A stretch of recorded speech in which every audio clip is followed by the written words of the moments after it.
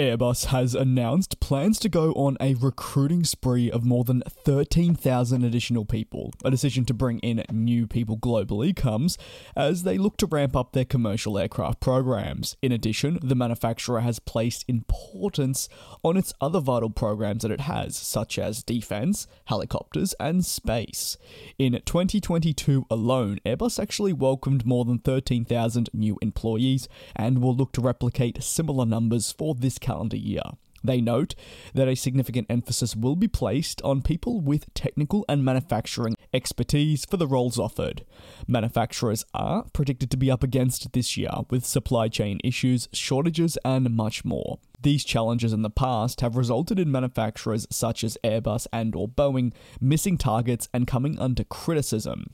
Of the 13,000 new employees, Airbus says 9,000 will be located within Europe at its various facilities, while the remaining 4,000 will be based worldwide. Interestingly enough, though, of the 13,000 new positions, more than 7,000 jobs the company plans to add will actually be jobs that are newly created, so it won't be people going into existing positions. The Airbus family is mammoth, with a team now consisting of more than 130,000 plus worldwide. Therefore, consistently recruiting, filling new roles, and more are all essential to navigate the industry's current climate. Airbus further added that the new employees would play a fundamental role in their targets of being more sustainable and their decarbonisation roadmap that's been put in place. On to our next topic of the day, and you could argue moving from one positive to a more sadder topic in the industry. Regional UK based carrier Flybe has announced it has ceased trading and subsequently cancelled all flights.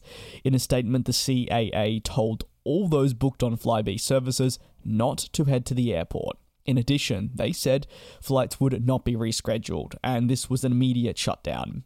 This is not the first time Flybe has experienced such a fate. During the coronavirus pandemic, the airline collapsed.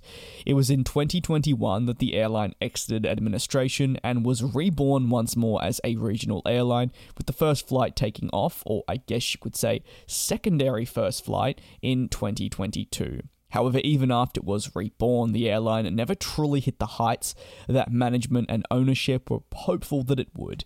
It continued to struggle before this announcement, and many were thinking it was inevitable and weren't necessarily shocked at the news we received. Flybe per data only had eight aircraft in service when it announced it had ceased trading. All of those were Dash 8 Q400s, and one additional unit was remaining in storage. The carrier operated across 21 routes going as far as Amsterdam and Geneva. An outpouring of emotion has headed in the direction of the hundreds of staff that represented Flybe and are now experiencing their livelihood collapse before their eyes.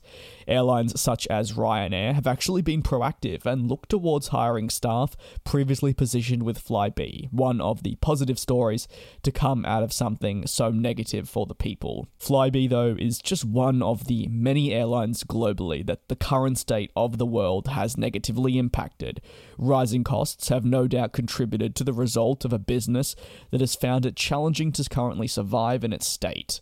The news was published at 3 a.m. local time and has been making the headlines on to our next topic. And like I said, we're moving from a positive to a negative to another positive, with the Air France KLM group announcing it had placed a firm order for the A350 freighter. The aircraft is Airbus's solution to the growing need for modern freighter aircraft, and the order includes four total units.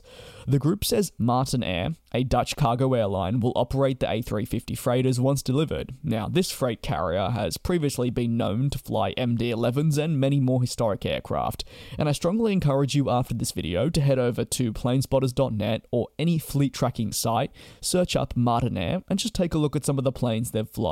It's always a fascinating look, and as an aviation enthusiast myself, I absolutely love doing it with any airline I can think of. Comments from the Airbus Chief Commercial Officer and head of Airbus International followed. Another A350 endorsement and a great one too. We are delighted to see the A350F enter the KLM Martinair world, confirming the relevance this most modern high capacity long range cargo aircraft brings to the air freight segment. I'm very pleased with the way our program is taking off, with 50% less noise and 40% less fuel burn and CO2 emissions compared to the previous generation aircraft that is replacing. That is hardly a surprise. We thank Air France KLM Group for their continued confidence. Airbus announced the A350F only in 2022, this a year full of freight announcements, if you will, as Boeing also announced the launch of their own 777-8 freighter. The A350F is expected to enter into service later this decade and has thus far accumulated 35 orders across 7 customers. This, though, is less than what the 777-8 has accumulated. However, you could say that program has been heavily backed by a mammoth Qatar Airways order. Australia's newest low cost airline, Bonza, has announced flights are finally bookable via its app. The airline will operate the Boeing 737 MAX to destinations it calls regional gems. Flights begin on January 31st from the Sunshine Coast to the Whitsunday Coast. Sunshine Coast will be the airline's central hub, with Melbourne soon being a secondary.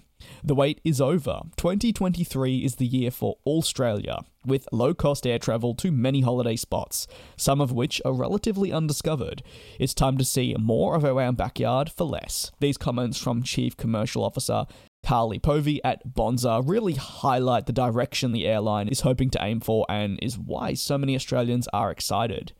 Some of the airline's busiest routes include the Sunshine Coast to Cairns with five weekly flights beginning at $79. Newcastle will see four flights per week, followed by Townsville also with four. Flights start at $69. Other destinations include Albury, Avalon, Coffs Harbour, Mackay, Mildura, Port Macquarie, Rockhampton, and Townsville, all from the Sunshine Coast. Meanwhile, it will offer Cairns to Rockhampton and Mackay, Newcastle to Whitsunday Coast, and Rockhampton to Townsville. Bonza says that this is its initial flight schedule and it's part of Phase 1. As more aircraft will be joining the fleet in the future, its network will only grow, and what it will make possible is for Melbourne Airport to act as its secondary hub. If you keep up to the date with the DJ's Aviation website, you'll know I had the opportunity to speak with the Bonza CEO and also executives at Melbourne Airport to discuss how the airline would slot into the busy hub. Bonza has remained sure that it doesn't intend to try and replicate the network of existing Australian airlines.